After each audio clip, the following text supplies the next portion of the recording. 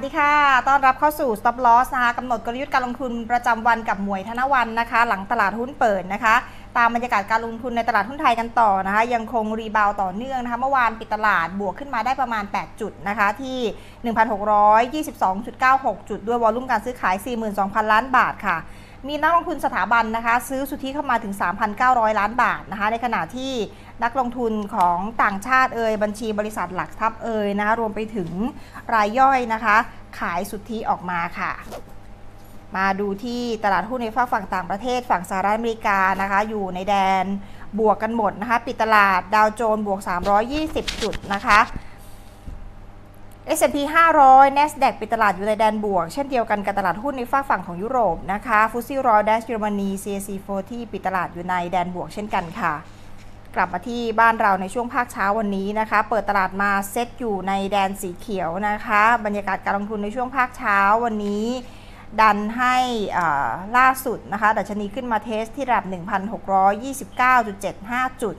ด้วยวอลุ่มการซื้อขายในช่วงภาคเช้าวันนี้นะคะ ยังไม่ถึง 10,000 ล้านบาทนะคะเรียกว่าวอลุ่มก็ยังเบาๆอยู่นะคะวันนี้นะคะ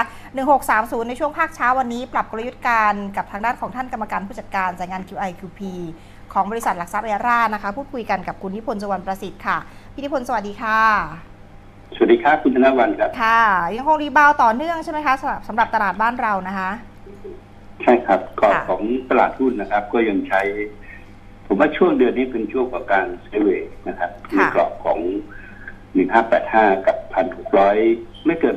1,674ค่ะนะมาดูกราฟนะคะ1,650ค่ะอะข้างบนน่ะเราไม่รู้ว่าเท่าไหร่นะฮะค่ะ เป็นการ rebound นะครับ ซึ่งก็จะค่อนข้างค่อนข้างที่จะอ่าอ่อนแอนะฮะเพราะปัจจัยยังเหมือนเดิมอยู่ คือเงินทุนยังไม่ได้ไหลเข้านะฮะค่ะนะครับ แต่ต่างชาติก็ยังขายอยู่ก็ยังเห็นอยู่นะครับค่ะเพราะฉะนั้นในในภาพของตลาดก็จะเป็น sideway สลับตัวขึ้นสลับตัวลงเราจะเห็นว่านะครับว่าหุ้นขึ้นนะครับ วันนี้หุ้นบวกแต่ก็จะมีกลุ่มธนาคารก็ลบนะฮะค่ะแต่วอลุ่มตลาดก็ค่อนข้างเบาบางนะฮะลักษณะก็จะเป็นแบบเนี้ยนะครับเพราะฉะนั้นเกิดการเก็งกำไรพูดตรงๆมันเกิดขึ้นไม่ได้นะครับ ถ้าใครจะเก็งกำไรต้องซื้อตามที่เราบอกว่ามันแพนิคซื้อแถวพันหกใช่ไหมครับค่ะพันห้าร้อยแปดสิบก็คงจะเลยมาแล้วนะฮะประมาณสักอ่าประมาณสักสองสัปดาห์นะฮะแล้วการที่ครั้งสุดท้ายก็เกิดเมื่อวันพฤหัสที่เราแนะนำว่ามันกลับมาเป็นรองแล้วนะ ค่ะนะครับอ่าเข้ากราฟนะซึ่งคะการการเล่นทีเฟกคือการหลอกฟิการหลอกฟิวเจอร์เนี่ย มันมีโอกาสที่จะได้กำไรมากกว่า ค่ะ ส่วนหุ้นเนี่ยฮะมันก็ต้องดูเป็นรายตัวนะครับ ซึ่งซึ่งก็ค่อนข้างนะฮะค่อนข้างที่จะยากนะครับว่าหุ้นตัวไหนจะขึ้นนะครับเรายังแนะนำหลีกเลี่ยงหุ้นขนาดใหญ่อยู่นะยกเว้นปตทสพนะฮะ PTTEP ซึ่งซึ่งก็ยังขึ้นได้ดีอยู่ แต่ก็ต้องซื้อตอนลงนะค่ะ นะครับอะไรทำนองเนี้ยก็จะเป็นตีมเดิมๆอยู่ ส่วนหุ้นที่เป็นหุ้นขนาดเล็กนะครับ ที่เราแนะนำมาคือมี CKP ใช่ไหมครับค่ะอะลงไปข้างล่างซื้อกันหรือเปล่านะถ้าไม่ซื้อก็ไม่ต้องซื้อแล้วนะครับไม่ทันแล้วนะคะ USA นะครับหุ้นพวกเนี้ยมีสตอรี่มีพื้นฐานที่เข้ามาในระยะกลางระยะยาวสองปีนะครับ ไม่ใช่ราคานั่นหรอกนะฮะแต่แถวนี้อาจจะเป็นราคาปกติในแง่พื้นฐานเนี่ย ก็น่าจะ มี upside ค่อนข้างน้อยนะครับ หรือที่เราแนะนำมา BCPG นะฮะคือโรงไฟฟ้าเนี่ยนะครับแถว15บาท15บาท80ก็ตอนนี้ก็ rebound ขึ้นมานะฮะก็จะเป็นลักษณะว่าเวลาซื้อหุ้นนะครับอ่าถ้าจะไม่ซื้อก็ได้ไม่เป็นไร แต่ถ้าซื้อขึ้นมาแล้วอย่าไปซื้อนะฮะต้องซื้อตามเพนดิเท่านั้นเองนะครับตลาดภาพก็จะเป็นแบบเนี้ยนะครับ เพราะฉะนั้นเราแนะนำมาโดยตลอดว่าเราเห็นนะคนไทยทั้งประเทศติดหุ้นหมดเลยนะฮะค่ะซื้อกันมาในช่วงที่ผ่านมานี่ก็สามแสนกว่าล้านนะฮะค่ะขณะที่ต่างชาติก็ขายอย่างเดียวนะครับอืมสิ่งที่เราต้องทำในขณะที่เราเป็นรายย่อยเนี่ย ต้องไปดูพอร์ตของเราว่ามีหุ้นอะไรบ้างค่ะนะครับแล้วก็พยายามที่จะขายออกไปนะผมเชื่อว่าบัตทอมของตลาดน่าจะอยู่ที่ปีหน้านะฮะที่กำไรของบริษัทจดทะเบียนเนี่ยก็คือจะเห็นที่มีการจะลงไปไปต่ำอะนะฮะ ต่ำแล้วต่ำสุดหรือเปล่านะฮะไอ้สิ่งต่ำสุดหรือเปล่านี่ยังไม่รู้นะฮะแต่ปีหน้าน่าจะกำไรเของจดทะเบียนน้อยกว่าปีนี้นะฮะคือลดลงนะฮะนะครับเพราะนั้นตลาดเนี่ยมันก็จะเป็นลักษณะของไซเวย์เพื่อนะฮะเพื่อสุดท้ายจะลงต่อนะครับ ไปบริเวณที่ PE นะฮะพอการคาดการณ์เนี่ยกำไรบริษัทโตไม่ได้เนี่ยมันจะลงไปที่ PE นะครับ ที่ระดับที่ดิสคาวแล้วนะฮะค่ะอาจจะมองที่14อาจจะดิสคาวไป12อะไรเงี้ยนะครับนะครับ เพราะฉะนั้นหุ้นตอนเนี้ยต้องระมัดระวังหุ้นที่เป็นตัวหุ้นขนาดกลางขนาดเล็กนะฮะที่คาดหวังเคยเคยคาดหวังกันไว้นะฮะว่าจะเติบโตดีค่ะเราต้องระวังหุ้นที่ PE นะครับสูงผมว่าไม่ว่าจะพูดอะไรจะเป็นค่าปีค่าส่งถ้าเกิน15นะฮะเท่าไหร่นะคะ ผมว่าแพง เกิน15ผมว่าแพง15เท่านะคะใน PE ในในสภาพของเงินไหลทุนไหลออกเนี่ยนะครับค่ะ15เนี่ยผมก็ว่าแพงนะครับค่าปีค่ะค่าส่งนะฮะนะครับอืมแต่ว่าแต่หรือว่าแต่ละเป็นอุตสาหกรรมก็จะมีมีความแพงของค่า PE ไม่ไม่เท่าใช่กันใช่ไหมคะมัน discount มันพูดยากมัน discount ยากอย่าง discount ตัวของตัวของ cap ของมันนะฮะตัวของอาตัวของการเติบโตของมัน คือบริษัทที่ใหญ่เนี่ย มันก็อัตราการเติบโตมันจะสูงสูงไม่ได้ถูกไหมครับ ค่ะ เว้นแต่ว่ามันเป็นหุ้นกลุ่ม commodity น้ำมันปิโตรเคมีซึ่งเป็น cycleนะฮะค่ะพวกเนี้ยมันก็จะเวลากำไรก็เหวี่ยงโตสูงเลยกำไรสามสี่สิบเปอร์เซ็นต์นะฮะเวลามันลงมันก็ขาดทุนห้าสิบเปอร์เซ็นต์อะไรเงี้ยนะครับค่ะแต่ถ้าพูดถึงว่าหุ้นที่เป็นเป็นหุ้นพื้นฐานนะฮะของเศรษฐกิจหรือเศรษฐกิจโลกเนี่ย มันจะมีการอัตราการเจริญเติบโตนะครับ ไม่ได้มากนะฮะผมว่าอาจจะมีการถดถอยด้วยนะฮะค่ะสำหรับในภาวะเศรษฐกิจแบบนี้ฟันโฟแบบนี้นะฮะ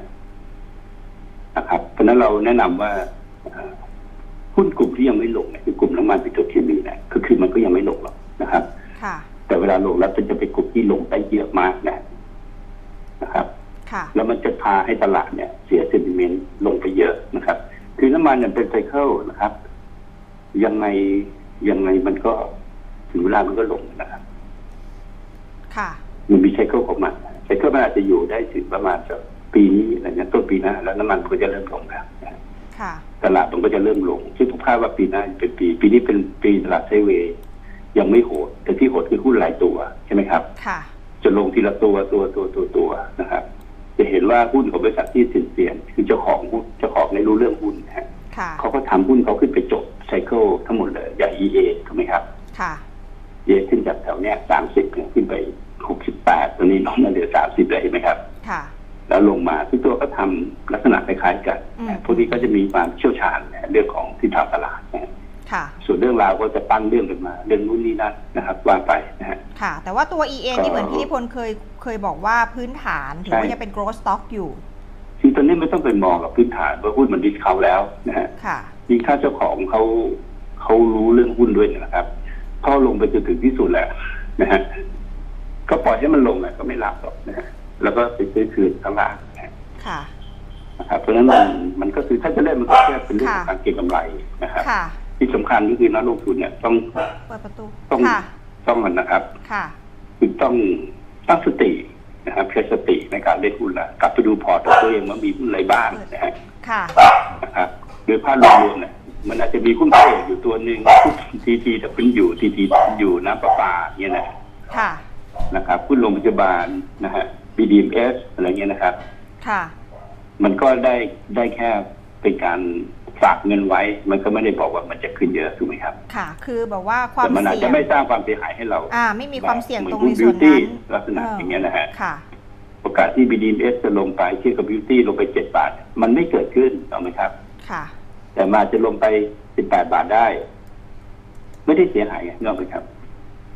แต่ถ้าคาดหวังว่ามันจะขึ้นไป 40เนี่ย มันไม่ใช่นะฮะมันเป็นไปไม่ได้นะฮะอย่างเรื่องของธุรกิจยาเนี่ย ปกติแล้วเป็นหุ้นดีพิเศษนะฮะซึ่งมันจะขึ้นได้ดีในช่วงแถวๆนี้นะครับมันคือเจอทวิตเตอร์ไปแล้วนะฮะอืมทรัมป์บอกว่าบริษัทยาเนี่ยขายยากันราคายากันแพงเนี่ย นะฮะเดี๋ยวจะจัดการแค่นั้นแหละนะครับ บริษัทยาลงมันท่านมีระนาดเลยนะฮะเห็นไหมฮะค่ะทรัมป์เนี่ยเป็นคนมาทำให้ทุกอย่างเนี่ยมันเปลี่ยนหมดนะฮะค่ะไม่ว่าเรื่องสงครามการค้าโลกนะครับที่ผมเล่าให้ฟังบ่อยๆว่าจากการที่เขาเนี่ยทรัมป์เนี่ยนะฮะเขาไปลดภาษีนิติบุคคลเนี่ยเขาได้ถูกไหมครับ แล้วเขาจะเอาภาษีอะไรมาชดเชยงบประมาณก็ต้องเขาก็ต้องไปเอาภาษีสุรกากรใช่ไหมครับ ค่ะนะครับเขาก็ไปตั้งกำแพงภาษีนะฮะ พวกเหล็กพวกเนี้ยนะพอตั้งปั๊บมันก็ทำให้ราคาสินค้าโภคภัณฑ์ขึ้น ใช่ไหมครับ ค่ะเออแต่ไอการค้าที่เขาไปตั้งกำแพงภาษีของจีนเนี่ยเขามีเรื่องเดียวฮะเขาต้องการภาษีสุลกากรนะฮะเพราะฉะนั้นเนี่ยคนในอเมริกาครับ ก็จะต้องซื้ออ่าอุปกรณ์อิเล็กทรอนิกส์อะไรเนี่ยแพงขึ้นถูกไหมครับ ค่ะเออเนี่ยนะครับก็จะเกิดเงินเฟ้อนะฮะก็จะขึ้นดอกเบี้ยใช่ไหมฮะมันเป็นทางทำลายหมดเลย ค่ะ มันเกิดจากทรัมป์เนี่ยนะครับ แล้วพอเขาทำไปแล้วเนี่ยผมบอกแล้วไงว่ายังไงเขาไม่ถอนนะฮะเรื่องสุขาประค้ากับจีนแน่นอนนะครับเพราะว่าเขาต้องการภาษีนะครับค่ะทำไมเขาไม่ไปทำจากจากยุโรปล่ะเพราะยุโรปมันปริมาณการค้ามันน้อย ปริมาณการค้าของเขากับจีนเนี่ยมันเยอะค่ะนะครับ สุดท้ายก็คือว่าทรัมป์เนี่ยได้ แต่คนอเมริกันจริงก็ต้องไปใช้ของแพงถูกไหมครับค่ะไม่มีอะไรเลยวนน้ำในอาหารอยู่แค่นั้น แล้วก็พร้อมที่จะทำทุกเรื่องนะครับค่ะ ที่เขาอยากจะทำนะครับแต่สิ่งที่เขาทำเนี่ยมันก็ไปทำลายความเชื่อมั่นนะของระบบของอาระบบ WTO นะครับ เดี๋ยวก็จะไปยุ่งกับเรื่องไอ้นั่นอีกนะไปดูนะเดี๋ยวก็ไปยุ่งกับไอ้แบ k เวิร์แบงนี่นะเขาจะยุ่งไปทั่วนะครับภาพแบบเนี้ย มันเป็นไปไม่ได้หรอกที่เงินจะไหลกลับเข้ามาซื้อหุ้นนะครับ เงินมันก็จะส่วนใหญ่ก็จะเป็นภาพของการไหลออกค่ะ อันนี้บางคนเนี่ยก็คือstop loss ไม่เป็นนะฮะอืมผมผมได้ยินบอกเออ EA stop loss ตรงไหนนะผมก็รู้สึกขำนะอ่าฮะเพราะเรา stop loss EA มันตั้งแต่67ใช่ไหมครับค่ะข้างล่างมันไม่มี stop loss หรอก stop loss เดี๋ยวมันใช้ตอนขึ้นไปขาขึ้นนะค่ะนึกออกค่ะ ถ้าขาลงเนี่ยมันเป็น short against port แล้วมันไม่มันไม่ stop loss ละมันหุ้นพื้นฐานดีค่ะคุณอาจจะ short EA มาตามเราล่าสุดก็คือ50ใช่ไหมครับ ค่ะ หรือเราบอกว่าแนวรับ34หลุดอยู่34ไหมล่ะหลุดก็ short เนี่ยลงมาที่กับ30ค่ะ ก็ตอนนี้เพก็ราะสาหุ้มนสิ EA บเป็นหุ้นที่เป็นหุ้นพื้นฐานนะครับนะครับ ซึ่งค่ะสามารถช็อตเกมพอร์ตลงไปซื้อตามไปได้เรื่อยๆแต่ค่ะถามว่าถ้าเรามีเงินสดอยู่ เราจะไปโผพันกับมันทำไม ใช่ไหมครับ ผมยืนยันแล้วหุ้นมันไม่ขึ้นแรงๆนะฮะเพราะฉะนั้นไอ้กลยุทธ์ที่ดีที่สุดอะไม่ใช่ไปซื้อหุ้นเก่งกำไรนะฮะค่ะคือถ้าเรารู้ว่า เราสมมุติเราใครเรียนเรื่องก่อนเราเรื่องศาสตร์ของการลงทุนใช่ไหมครับ ค่ะเราก็ไปทบทวนคุณจะดูว่ามันจริงหรือเปล่าที่ผมบอกนะฮะค่ะ ถ้ามันจริงเราก็ดูว่าเราเคยมีความรู้พวกนี้มาไหมถ้าเราไม่มีพวกนี้มานะครับ เราไปเรียนละเราเริ่มรู้ละแล้วเราพิสูจน์อะการพิสูจน์ไม่ต้องรอข้างหน้าหรอกพิสูจน์ย้อนหลังก็ได้ ว่ามันจริงไหมค่ะเพราะว่าไอ้สารกุลงทุนที่ผมสอนนะผมพิจิตรแค่เห็นข้างหน้าเดี๋ยวว่า เนี้ยตั้งแต่มกรานะครับ ปีมีนาปีที่แล้วเนี่ยนะครับ ผมก็ชี้ให้เห็นแล้วว่าหุ้นทั้งโลกนะมันเป็นขาลงหมดแล้วอะนะฮะค่ะซึ่งซึ่งมันจะขึ้นเฉพาะหุ้น commodity ซึ่งมันก็เป็นแบบนั้นไหมล่ะถ้าเรารู้ว่าไอ้ความผิดพลาดของการลงทุนในพอร์ตของเราเนี่ยมันเกิดจากการที่เรารู้ไม่จริงนะฮะสองคือการเราไม่รับรู้และอวิชชานะฮะค่ะสิ่งที่เราต้องทำก็คือนะครับหุ้นเนี่ยเป็นเป็นธุรกิจฐานความรู้ แล้วต้องอาศัยประสบการณ์ ต้องมีเงินทุน เงินทุนต้องเป็นเงินที่เงินออมนะฮะเรามีเงินอยู่แล้วละเราเข้ามาเป็นเงินออมนะฮะแต่ถ้าเราเงินออมไปเล่นมาร์จิ้นอันนี้เราหมดแน่นอนนะครับ ถ้าเราขาดจุดไหนล่ะ เราขาดเรื่องความรู้ป่ะเราดูง่ายๆ ถ้าเรามีความรู้เราต้องไม่ขาดทุน ตอนนี้พอร์ตเราต้องไม่มีหุ้น ถูกไหมครับ ค่ะพูดโดยรวมเราไม่ควรจะมีหุ้นเลยนะครับ เรามีประสบการณ์หรือเปล่าล่ะ มีฮะเรามีประสบการณ์ทำผิดนะอันนี้เราก็ไปนั่งจดมาเราเล่นหุ้นเราผิดเพราะอะไรเพราะอะไรเพราะอะไรนะครับ แล้วเราก็มาประมวลว่าแล้วเราจะทำยังไง มันเหมือนว่าเราเดินทางมาผิดตั้งแต่ต้นนะฮะแล้วเราก็พยายามจะเอาชนะนะฮะหุ้นตอนเนี้ยนะครับ เพื่อที่จะเอาสิ่งที่เราเสียไปกลับคืนมาก็เรียกไททูเบกเนี่ยค่ะแล้วมันก็ผิดพลาดมาตลอดสองปีที่ผ่านมาอืมสามปีที่ผ่านมาพอร์ตไม่เคยดีขึ้นเลยขาดทุนมากขึ้นมากขึ้น นะครับ สิ่งที่ค่ะเราทำได้นะครับ อยู่ที่มือเราเลยเราตัดสินใจได้เลยก็เปิดพอร์ตเลยครับแล้วขี่ขายเลยอืมเพราะขึ้นหุ้นขึ้นรอบหน้าเนี่ยนะมันจะเปลี่ยนหน้าไพ่ขึ้นหมดเลยนะครับ เนื่องจากว่า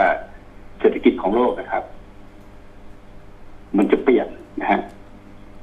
การอุปโภคบริโภคของมนุษย์เนี่ยมันจะเปลี่ยนไปโดยสิ้นเชิงนะสินค้าบริการบางอย่างเนี่ยมันจะไม่มีนะค่ะ นะครับ แต่บริษัทพวกเนี้ยมันก็จะเจ๊งทั้งหมดเว้นแต่บริษัทพื้นๆบ้านคุณยังอยู่ไหมล่ะอืมยังอยู่อสังหาริมทรัพย์ยังอยู่ มันก็อยู่ของมันได้อยู่ใช่ไหมครับ ธนาคารพาณิชย์อาจจะไม่มี หรือมีอาจจะเปลี่ยนบทบาทไปนึกออกไหมครับค่ะนะครับ อะไรเนี้ยก็ต้องไปนั่งคิดใหม่น้ำมันยังใช้อยู่ไหมอืมนะครับก่อนตอนน้ำมันลงมาก็บอกว่าจะใช้รถไฟฟ้า น้ำมันไม่ใช้ ก็เห็นน้ำมันขึ้นมานะครับ ตอนนี้ก็มีบางค่ายพูดไปถึง90เหรียญแล้วค่ะ น้ำมันก็จะใช้อยู่ ถ้าไม่ใช้ในรถยนต์ก็ใช้ผลิตไฟฟ้าได้ ถูกไหมครับ ค่ะอะอย่างเงี้ยน้ำมันก็ยังอยู่ปิโตรเคมียังใช้ไหมอะไปดูสินค้ารอบตัวเรารถยนต์ ไม่ว่าจะใช้รถไฟฟ้าอะเราไปใช้ปิโตรเคมีหรือเปล่าที่ทำบอดี้อะไรพวกเนี้ยนะครับค่ะ อะไรที่มันเป็นพื้นๆเนี่ยมันก็จะยังอยู่ได้นะครับ แต่กิจการบางอย่างเนี่ยกิจการขายโทรศัพท์มือถือนั้นมันจะมีไหมฮะค่ะ มันไม่ต้องมีอะมันซื้อออนไลน์ก็ได้ไงถูกไหมอืมใช่ถูใช่กปะใช่เดี๋ยวนี้อะไรก็ซื้อออนไลน์มันได้หก็มดฟรีอะแจกซิมค่ะฟรีไปขอซิมที่ไหนก็ได้นะค่ะนะครับ อะไรก็ได้มันจะเปลี่ยนไปค่อนข้างที่เยอะเราก็ต้องดูพวกเนี้ยนะครับ มันต้องวิเคราะห์ให้ดีๆอะแล้วผมถามว่าแล้วไฟฟ้าใช้ไหมไฟฟ้าใช้แน่นอนค่ะใช้ฮะยิ่งใช้มากขึ้นมากขึ้นเรื่อยๆนะฮะค่ะยิ่งคุณใช้ยิ่งคุณใช้นะครับ อ่าเวอร์ชันห้านะครับ อยู่ในเอทที่ห้าละของสื่อสารเนี่ยนะครับ มันเป็นยุคของอะไรล่ะ เป็นยุคของ Internet of Things ใช่ไหมฮะค่ะเป็นการสื่อสารระหว่างอุปกรณ์อุปกรณ์ มันใช้เน็ตเลยนะฮะคือผมต่อระบบเนี่ยนะฮะกล้องเนี่ยกล้องวงจรปิดนะครับ แล้วเราก็มันมีระบบดิจิทัลคือผ่านเน็ตใช่ไหมฮะค่ะ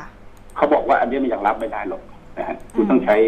มันจะไม่มีเสถียรเพราะเน็ตที่บ้านคุณจะตกเลยนะฮะเพราะว่าความเร็วของเน็ตขนาดเนี้ยแรงไม่พอค่ะไอ้ไอ้ร้อยไอ้ร้อยเมกะบิตเลยเนี่ยนะครับ ไม่ค่ะพอหรอกนะฮะต้องไปถึงพันเมกะบิตนะซึ่งในในเอทที่ห้าเนี่ยมันจะขึ้นไปถึงตรงนั้นเลยนะฮะค่ะแล้วมันจะเป็นการใช้ทำบ้านเลยที่ใช้พวกนี้ในการดูแลนะครับ ในการในการสื่อสารของอุปกรณ์ทั้งบ้านทั้งหมดเลยนะครับอืมอาชีพตำรวจหน่อยก็ต้องไม่มี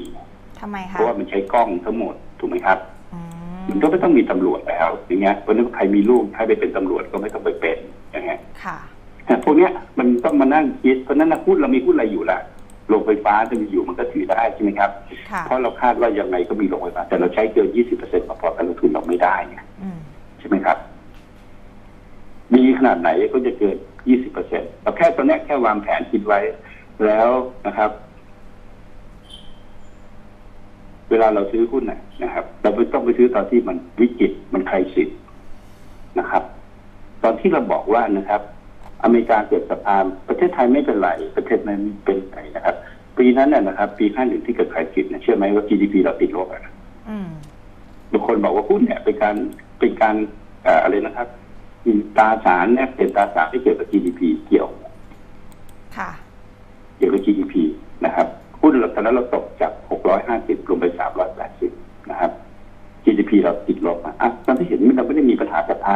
ทำไมเราทำไมเราลงนะฮะวิชาการทางด้านเศรษฐศาสตร์อะมันมันยังใช้เหมือนเดิมนะครับค่ะแต่เศรษฐศาสตร์อะก็คือเรื่องการบริโภคของมนุษย์ดีมาสปายมันเปลี่ยนไปเยอะฮะผมถามว่าวันเนี้ยเงินไม่เฟ้อเหรอเมืองไทยเนี่ย ถ้าคุณเอานะครับ เอาราคาการขึ้นของอสังหาริมทรัพย์มันเป็นปัจจัยสี่ไหมฮะค่ะ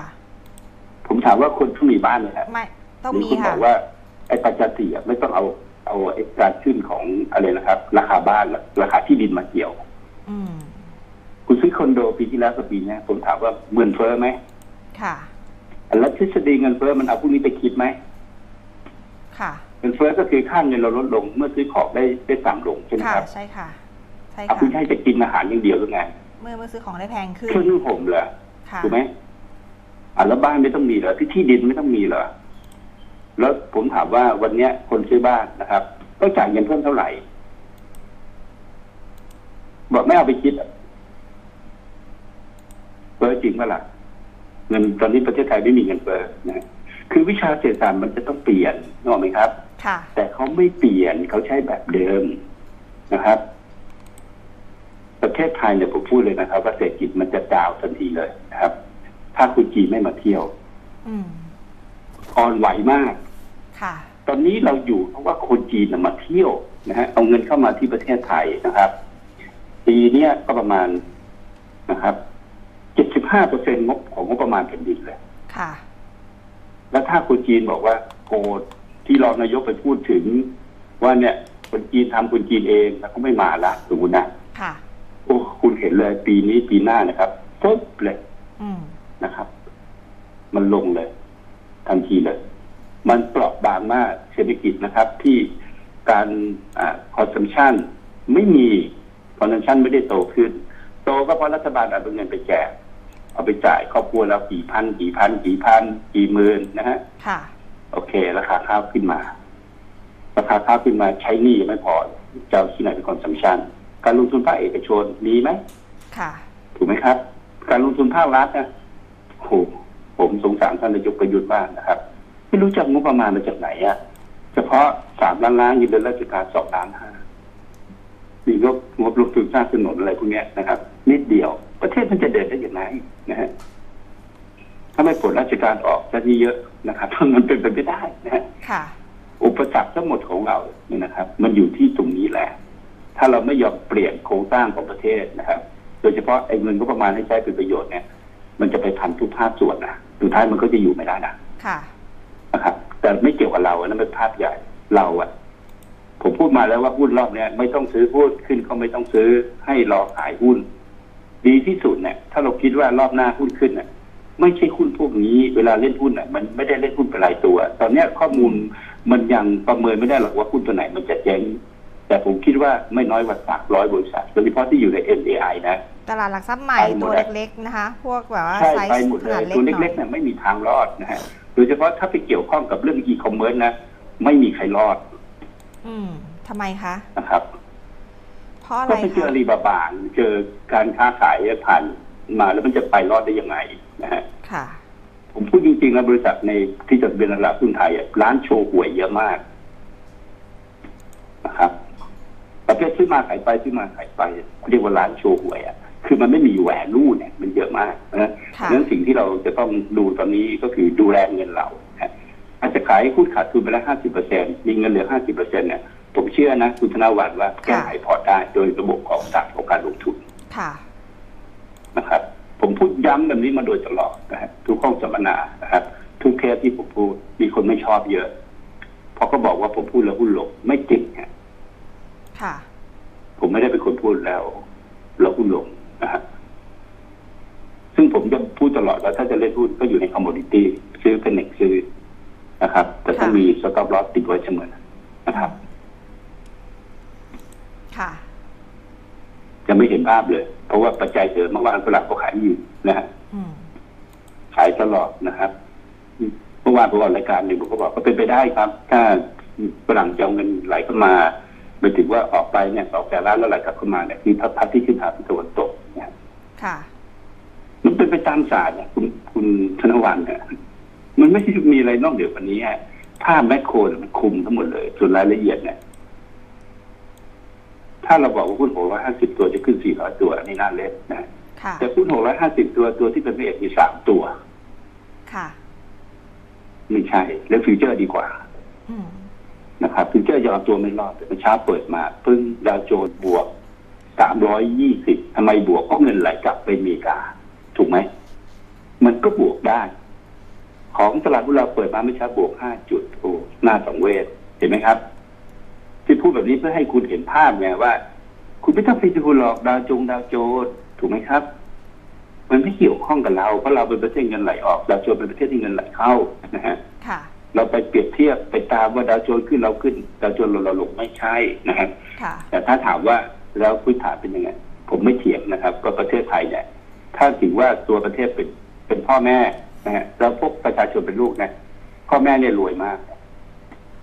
มีทุนสำรองระหว่างประเทศเยอะมากอะค่ะแต่แต่ไม่ได้ทำให้ลูกเนี่ย รวยครับอืมถูกไหมครับ ลูกต้องไปทำมาหากินเองนะครับ แต่ประเทศลูกหลาย ๆ คนน่ะ พยายามนะครับ ที่จะไปเอาเงินของพ่อแม่เนี่ย เอามาใช้โดยไม่ทำมาหากิน นะครับพวกไหนรู้ไหมฮะค่ะ ผู้อยากเลือกตั้งอืม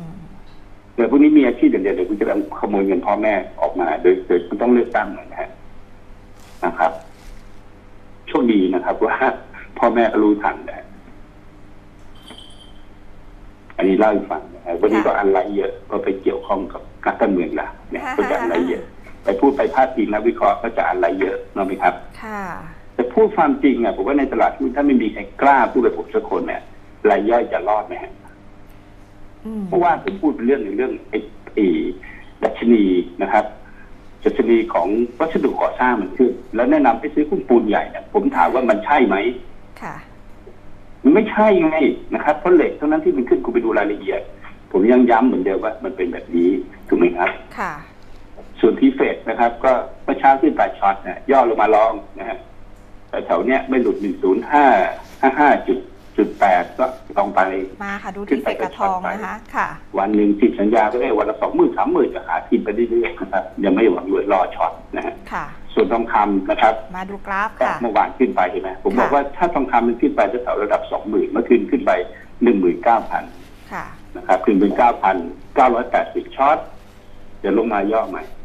ก็หากินได้วันละร้อยบาทอะไรเงี้ย หากินไปนะครับอะไรก็ได้เอามาก่อนแต่อย่าคิดรวยนะฮะค่ะกลับไปดูพอร์ตตัวเองนะครับ ถ้าเป็นหุ้นขนาดเล็ก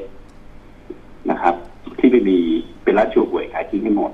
อืมนะครับ ถ้าเป็นหุ้นขนาดใหญ่อยู่กลุ่มไหนนะครับกลุ่มพลังงานยังโอเค รอลงรอลงเท่านั้นนะฮะอ๋อสุดท้ายก็คือลง ถ้ากลุ่มพลังงานยังอยู่ได้ ค่ะ เน้นแล้วนะ เหลือแค่ตัวเดียวแล้วนะปตทสพค่ะ PTT EP นะครับตัวเดียวหุ้นน้ำมันเอ่อหุ้นโรงไฟฟ้านะครับ ราคาแถวๆนี้ BCPG แถว15บาท ราคาเข้าไปซื้อได้นะฮะ BCPG นะคะเทรดเป็นขึ้นมาขาย ไม่รู้ว่าขึ้นตรงไหนไม่รู้ขายแต่เป็น USA แถวๆ3บาท50ซื้อได้ว้านะฮะ CKP แถว3บาท BCPG 50ซื้อได้เป็นราคาที่ปลอดภัย CKP ถ้าซื้อสามมาบาทแล้วไม่ขาย อาจจะยังไม่ขึ้นนะ ครับแต่ CKP เป็นตัวหนึ่งถ้าตลาดรีบาวด์ได้นะฮะในช่วงของปีหน้านะครับ มันจะต้องมี rebound อีกที่ที่แข็งแกร่งกว่านี้นะฮะค่ะ ช่วงต้นปีอย่างเงี้ยโอกาสขึ้นมันก็จะมีนะค่ะครับได้ค่ะนะคะ ได้วันนี้ได้ข้อคิดการลงทุนมากมายเนี่ยต้องกราบขอบพระคุณพี่นิพนธ์มาก ๆ เลยนะคะ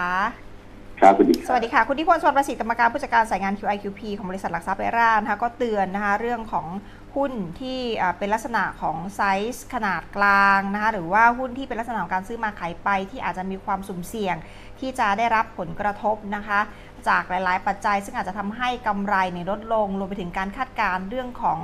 อนาคตนะคะว่าธุรกิจจะดีแล้ว PE มันค่อนข้างแพงก็อาจจะมีแรงขายลงมาได้ เพราะฉะนั้นต้องระมัดระวังหุ้นไซส์ขนาดแบบนี้ ส่วนหุ้นไซส์ขนาดใหญ่ก็ไม่ใช่ว่าไม่ให้ระวังนะคะต้องระวังเหมือนกันนะคะ โดยกลุ่มที่คิดว่าน่าจะยังคงโอเคอยู่คือกลุ่มของพลังงาน เพราะว่าราคาน้ำมันในตลาดโลกตอนนี้ เท่าที่มอนิเตอร์ก็ยืนอยู่ที่ประมาณ 74 เหรียญมาระยะหนึ่งแล้วนะคะ แต่ว่าหุ้นในกลุ่มของพลังงานหลุดจุด stop มาหลายตัว ตัวที่ยังมีเทรนด์ดีอยู่ คือตัวของปตท.สผ.